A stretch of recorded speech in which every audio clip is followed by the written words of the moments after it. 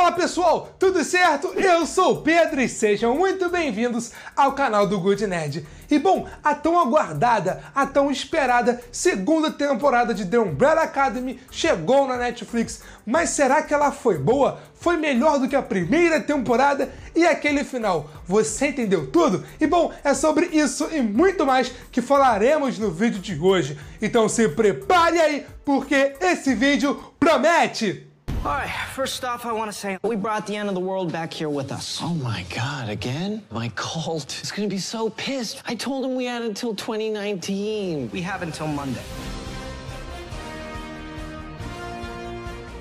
Esse vídeo aqui será dividido em duas partes. A primeira parte será meio que minha análise, meio que minha crítica, às vezes comentarei sim com spoilers, e a segunda parte é final explicado, então o spoiler tá liberado, beleza? Bom, essa nova temporada começa logo após o término da temporada anterior, ou seja, com os irmãos viajando no tempo de 2019 para tentar fugir do apocalipse, só que eles acabam viajando para a década de 60 em Dallas, nos Estados Unidos. E para você que não sabe, nesse mesmo ano e nessa mesma cidade foi quando o presidente Kennedy, não, o presidente americano Kennedy, foi assassinado lá nos Estados Unidos. E essa trama é tratada assim nessa nova temporada, com os próprios irmãos tentando impedir que isso ocorra. A série faz questão de mostrar o que aconteceu com cada um dos personagens até eles se reencontrarem, porque, como eu falei, eles acabam caindo no mesmo local, porém em anos diferentes. E esse negócio foi muito importante para a gente se situar nesse novo ambiente. Ainda sobre a ambientação,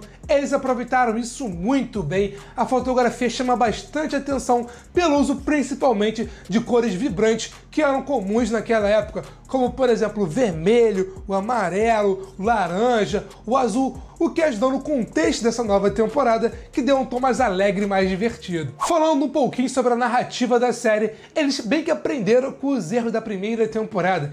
Porque eu vou dar minha experiência. Eu comecei a ver The Umbrella Academy na primeira temporada, os primeiros episódios, sobretudo o primeiro episódio, foi um saco, não acabava nunca, não acontecia nada no episódio, eu desisti de ver. Mas aí vocês pediram, eu dei uma segunda chance e adorei, porque eu realmente fui de mente aberta, vi o primeiro episódio que custou, vi o segundo que custou, mas é do terceiro em diante foi só alegria. E aqui não. Aqui o primeiro minuto do primeiro episódio já começa com cinco viajando no tempo, é Reis ali com a maleta, é bomba nuclear, é apocalipse, é coisa pra lá, coisa pra cá. Que cara, ficou muito legal. É temporada, é praticamente assim, do primeiro até o seu último episódio. É muita coisa acontecendo e principalmente a história te prende do início até o seu fim. Ficou nítido também que a química entre o elenco está muito melhor os atores estão muito mais à vontade no papel e o saldo das atuações foi realmente positivo. Eu não sei para vocês, mas o personagem 5 foi meu personagem favorito de toda The Umbrella Academy e isso se confirmou ainda mais nessa segunda temporada. Ele mandou muito bem e é sério, esse carinha, esse ator, cara, maluco tem talento. Pode esperar ele fazendo outros filmes, outras séries bem famosas porque, mano, o carinha manda muito. Outra personagem que eu já gostava e agora gosto ainda mais foi aquela gestora, cara, que tem aquele caráter meio medonho, né? meio falso, meio amedrontador, mas ao mesmo tempo é muito divertida, muito engraçada e muito carismática. Eu não sei vocês, mas eu curto bastante essa personagem. A trilha sonora, os efeitos especiais e as cenas de ação tudo isso estão muito, mas muito melhores nessa segunda temporada, principalmente os efeitos especiais. Parece que a Netflix viu sucesso na série e liberou mais cash, cash, cash, mais money, money, money para os produtores que investiram pesado nos efeitos especiais. E meus amigos, vocês não vão se decepcionar e deu uma melhorada muito, mas muito nítida. Mas teve uma coisinha que eu não curti bastante, eu acho que vocês vão concordar comigo nessa. É que, pô, até que demorou para os irmãos se reencontrarem, né? Se encontrarem novamente ali nos anos 60, cara. Deu uma enroladazinha ali nos primeiros episódios e tal, uma barrigadinha e tal, até se reencontrarem, que daí foi só peripécia e foi só alegria mas demorou, cara, demorou. Pra mim, tranquilamente, primeiro episódio ambienta a gente, segundo episódio se reencontra, terceiro episódio já pronto ali, o cinco, né, maluco ali viajando. Pra mim, poderia ser tranquilamente assim. E vale a pena ressaltar que isso de jeito nenhum piora a série, diminui a qualidade. Não, de jeito nenhum. Foi só uma coisa que eu não curti. Eu acho que vocês concordam comigo nessa, né? E o meu veredito para essa segunda temporada é que ela é melhor do que a primeira, é mais divertida, mais engraçada, com mais ação e com uma ação com uma maior qualidade técnica. A ambientação dos anos 60 foi muito bem feita, as atuações e a química entre o elenco está muito melhor e isso tudo confirma The Umbrella Academy como uma das melhores séries originais Netflix. Eu dou tranquilamente para essa nova temporada uma nota 9 de 10 e vou ver várias outras pessoas dando até mesmo nota 10, porque ela realmente é muito boa.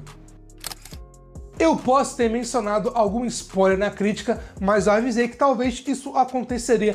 Mas agora, agora a gente vai falar sobre o final explicado da segunda temporada de The Umbrella Academy. Então o spoiler tá liberado. Vou falar tudo sobre o último episódio, beleza? Bom, no final, a Liley, que é a filha da gestora, revela que ela também tem superpoderes, assim como os sete. Só que na verdade, ela tem todos os poderes de todos os sete personagens em uma única pessoa. Se você já achava a Vânia pelona, essa personagem é o quê então, cara? Eu achei muito Deus Ex Machina, tipo, foi too much, sabe?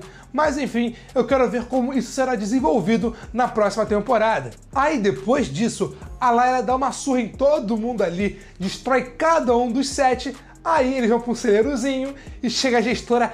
Prrr, metralha todo mundo, mata todo mundo, mas por algum motivo o 5, ou imortal, não morre, mesmo tendo sido fuzilado, não morre.